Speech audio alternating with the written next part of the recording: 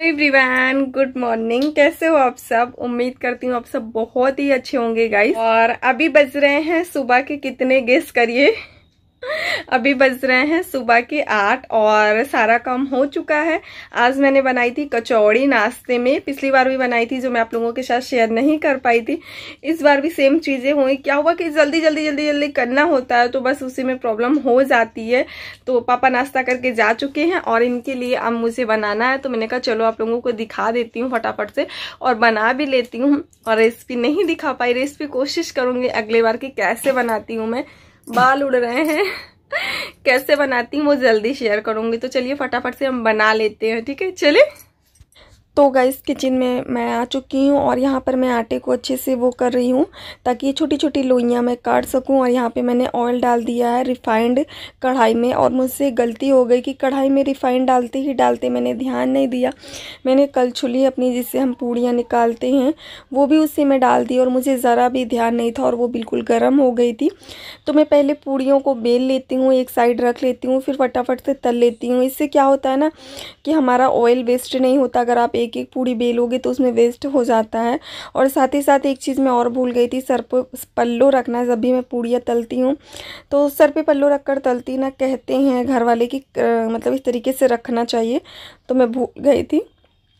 और बस यही धुन में मैं थी कि हाँ मुझे बस फटाफट तलना है क्योंकि ये भी चले जाएँगे दुकान खोलने। और और मुझसे इतनी बड़ी गलती हो गई, जो गलती मैंने की है वो आप मत कीजिएगा। और बाकी आटे को बच्चे हैं, जो मैं उनको एक कटोरी में करके रख दूँगी, क्योंकि अभी आएँगे देवर से, उनके लिए भी बनाना है। फिर बीज में बच्चे खाएँगे तो उनके लिए भी बनाना है, क्योंकि ठंडी हो जाती है तो अच्छी नहीं लगती, है ना? तो इसको मैं ढाक के अभी बाहर ही रखूँगी, अभी फ्रिज में नहीं रखूँगी, ऐसे ही रख दूँगी। और इन सबको साइड रख दूँगी, क्योंकि अभी मुझे फिर से बनाना है। और आप यहाँ ध्यान से देखिएगा, ये देखिए, मैंने पूड़ी डाली और कलछुल जैसे ही मैं पकड़ी, मेरे हाथ से वो मतलब छूटने लगी थी जब मैंने बीच में पकड़ा, ये देखिए। और उसका जो छिट्टा था वो मेरे फेस पे आके पड़ा और बाल बाल बच गई। मैंने काफ़ी ज़्यादा कंट्रोल किया। अगर मैं काफ़ी तेज़ी से रखती तो पूरा मेरा फेस जल जाता। और मैं सच बता रही मैं कहीं मुँह दिखाने की लायक भी ना होती। जब आपके फेस पे कुछ पड़ जाता है तो सच बता रही हूँ, सब कुछ ठीक। अगर आपका हाथ जल रहा है पैर जल रहा है तो कोई प्रॉब्लम नहीं होती। लेकिन जब आपका फेस जल जाता है ना, आपको शर्म आती है, यार मतलब क्या है, कैसे है? एक छिट्टा भी हम लोगों के चेहरे पे पड़ जाता है तो फिर इतनी बड़ी प्रॉब्लम हो सकती थी सोच सकती हो आप कितनी बड़ी प्रॉब्लम हो सकती थी। पहली बार ज़िंदगी में मेरे साथ ऐसा हुआ और ये मैंने गलती की है तो ये गलती आप लोग मत कीजिएगा, ध्यान दीजिएगा। जब मैंने आगे पकड़ा तो कोई प्रॉब्लम नहीं हुई, लेकिन जब मैं बीच में पकड़ी तो कंट्रोल ही नहीं हुआ मेरे से, वो छूट ही गया। और यहाँ पे मैंने कचौड़ियाँ देखिए, सारी निकाल ली हैं और कुछ अभी बाकी हैं तो अब देख लो इसी तरीके से मैं निकाल रही हूँ। तो चलिए आप लोगों से थोड़ी देर से मैं मिलती हूँ। और हम लोगों ने नाश्ता कर लिया है और यहाँ पर मैं कुछ प्रोडक्ट अपने पैक करने जा रही थी क्योंकि अभी इस समय मैं मेकअप लुक क्रिएट नहीं कर रही थी। मैंने कहा इनको एक में रख कर रख देती हूँ। और इतना ज़्यादा परेशान थी कन्फ्यूज़ थी। अब देखो कब से लगी पड़ी हुई थी ये डिब्बी को मैं ओपन ही नहीं कर पा रही थी। जो कि मैंने इसमें नायका का कुछ प्रोडक्ट मंगाया था नायका से। तो सारे ही प्रोडक्ट को मेरे पास उतने ज़्यादा नहीं हैं, जितने हैं, जो भी हैं, काफ़ी ज़्यादा बजट में है। तो उन सभी को मैं एक डब्बे में यानी कि जो कार्डबोर्ड का डब्बा आता है ना ऑनलाइन वाला, उसी में सबको समेट के रख दूँगी क्योंकि अब हमें, जैसा कि मैंने बताया कि घर लेना है शिफ्टिंग करना, दूसरी जगह जाना है तो घर फ़िलहाल हमें मिलने ही वाला है। तो मैंने कहा, इन सबको मैं इसी तरीके से करके रख दूँ ताकि मेरी कोई भी चीज़ बाकी ना रहे और छूटे ना तो इन सभी को रखने के बाद मैंने सोचा कि जो मेरा मेकअप बॉक्स है शादी वाला, उसमें भी कुछ प्रोडक्ट मैं रख देती हूँ, जो खाली पड़ा था।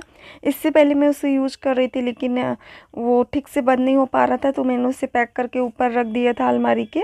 और यहाँ पर अब मैं अपने श्रृंगारदान का, यानी कि ड्रेसिंग टेबल का सामान निकाल रही हूँ, जो मैं यूज़ नहीं करती हूँ। उनको मैं सोच रही हूँ कि मैं एक साइड समेट कर रख दूँ, ताकि मेरा कोई भी सामान इधर उधर ना रहे, क्योंकि अब हमारा फाइनल ही हो चुका है। कि हमें जाना ही जाना है और कभी भी हम यहाँ से जा सकते हैं क्योंकि जो है हमारा रूम वाला अरेंजमेंट हो चुका है। अभी कोई कंफर्म नहीं है बट हो जाएगा तो मैं आप लोगों के साथ शेयर करूँगी। और जब मैं इसे ओपन कर रही थी, मेरे हाथ में लग गया। आज पता नहीं क्या सुबह से हो रहा मेरे साथ, कुछ ना कुछ लग रहा है। साथ ही साथ में बाबू भी उठ गई थी तो उतनी ज़्यादा अच्छे से काम नहीं हो पाएगा। मुझे पता है कि एक दिमाग मेरा इधर, एक दिमाग उधर लगा रहेगा। और ये फॉल्सेस अभी जस्ट न्यू, अभी मैंने इसे अप्लाई भी नहीं किया है। और क्योंकि मेरी सारी ख़राब हो चुकी थी धुल धुल की बिल्कुल ख़राब हो चुकी थी तो मैंने कहा चलो मंगा लेते हैं। और ये परफ्यूम वगैरह जो आ नहीं पाए, इनको मैं फिर से इसी में रख दूँगी और देखूँगी कि कहाँ पर मैंने रख सकती हूँ। सामान पैक करते करते उठ गई और ये मेरी रखी हुई है मेकअप बॉक्स की शादी की पेटरी क्या बोलते हैं गाँव में? पिटरिया पिटरिया पिटरिया बोलते ना बाबू क्या खा रही हो? आम। क्या खा रही हो? क्या खा रही हो बेटा? आम। ऐसे खाया जाता है? कैसे खाया जाता है? ऐसे? ओहो इधर देखो मौसी लोग बोल रही मुझे भी दे दो। नहीं। नहीं दोगी? नहीं। अच्छा ऐसे रखा रहना वरना गिरेगा। और इन्हें काट कर दे दो ना कि ये काट कर खा ले अपने से खिला दो नहीं। नहीं खाना यार क्या लग गया हाथ में।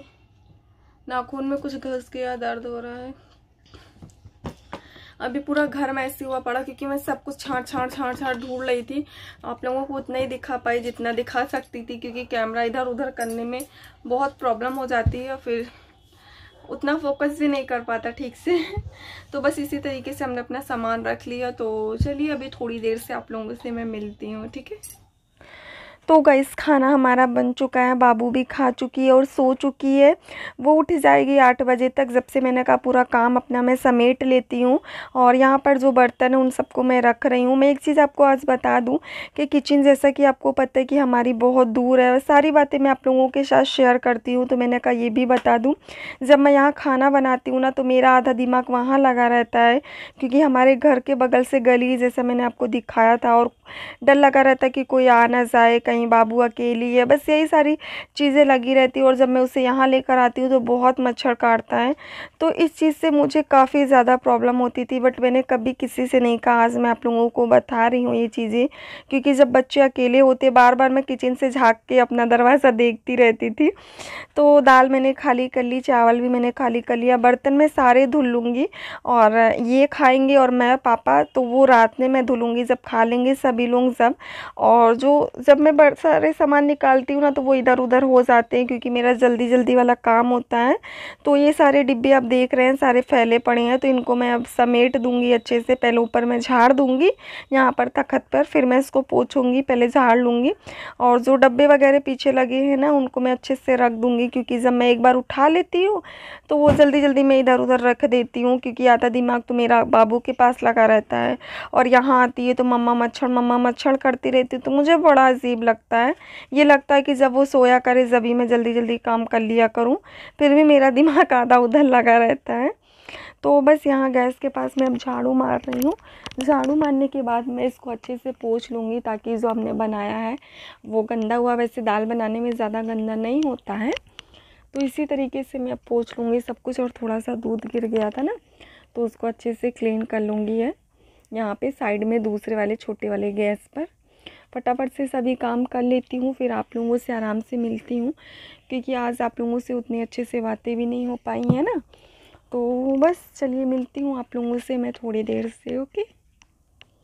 तो गाइस अभी बज रहे हैं रात के नौ दस और ये देखिए, आज ये जल्दी आ गए हैं और खाना खा रहे हैं।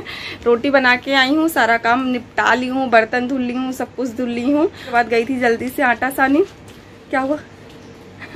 आटा सानी आटे का मुझे ध्यान ही नहीं था क्योंकि कचौड़ी वाला आटा रखा हुआ था तो मुझे लगा वही आटा है। बाबू दुल्हनिया बनी है भाई। दुल्हनिया दुल्हनिया दुल्हनिया दुल्हनिया। मम्मा भी है मम्मा भी दुल्हन बनी कर तो बस ब्लॉग एंड यही कर देती हूँ। अगर आप लोगों को ब्लॉगिंग अच्छी लगी हो तो लाइक ज़रूर कीजिएगा। अगर कुछ भी कमी लगी हो सुधार कुछ भी आप लोग करना चाहते हो ब्लॉगिंग में तो आप बता सकते हो। मैं माइंड नहीं लूँगी और ये पसीना नहीं है मुँह धुल के आई हूँ गीला गीला है जो। अभी टपक रहा है ये देखिए। तो बस वही है एंड कर देती हूँ। वीडियो बहुत लंबी हो जाती है सोचती हूँ छोटी करूँ छोटू कर छोटू छोटी करूँ बस बट होती ही नहीं है। और बनाया था मैंने दाल चावल रोटी इसलिए मैंने रेसिपी आपको नहीं दिखाई जैसा कि आपने देखा कि कुकर खाली करके मैं ले गई हूँ। और बर्तन मांजना तो ऑलरेडी मैं दिखाई चुकी हूँ तो क्या दिखाती? तो सभी काम हो चुका है बस अब थोड़ा सा रेस्ट करूँगी फिर जब तक पापा आएँगे। और आम के खाने वाले हैं करे आम दिखा दो आपको खाना है तो आ जाइए बुला रहे हैं। किसको बुला रहे हैं? नंदनी जी को? तो बस आपके जीजू आप लोगों को बुला रहे हैं आम खाने के लिए, खाना खाने के लिए नहीं। वीडियो का एंड यही करती हूँ, मिलती हूँ अच्छे से वीडियो के साथ। Okay bye bye